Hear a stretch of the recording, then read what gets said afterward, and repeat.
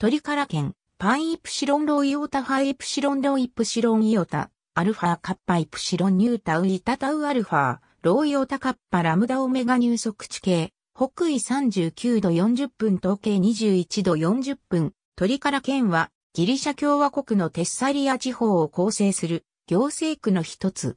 県都はトリカラ。トリカラ県はテッサリア地方西部の内陸に位置する。県内のカランバカには世界遺産のメテオラがある。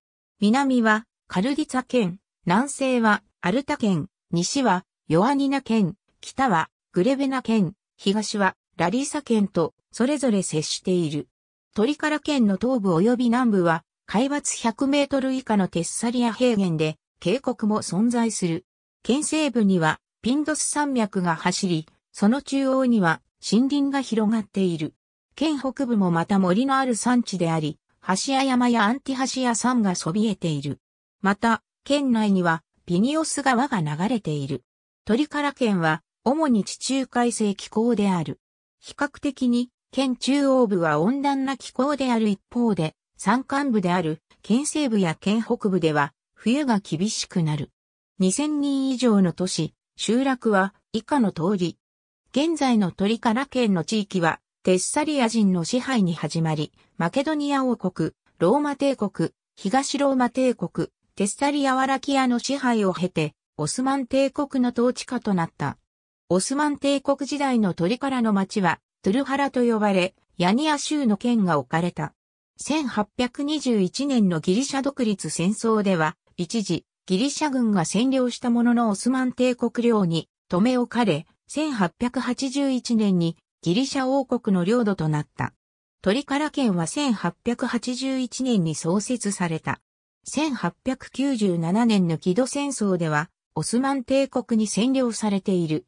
1930年代には、電気とラジオが普及し始めた。第二次世界大戦とギリシャ内戦で被害を受けた建物が再建された。1947年にカルディツァ県が分割された。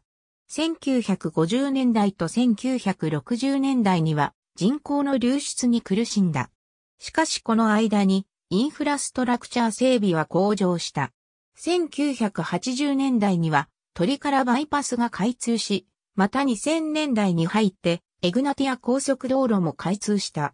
トリカラ県トリカラ県は以下の自治体から構成される。人口は2001年国勢調査時点。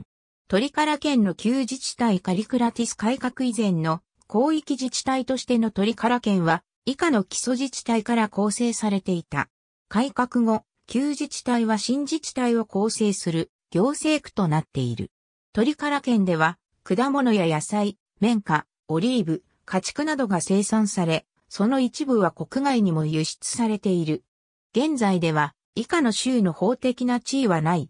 ありがとうございます。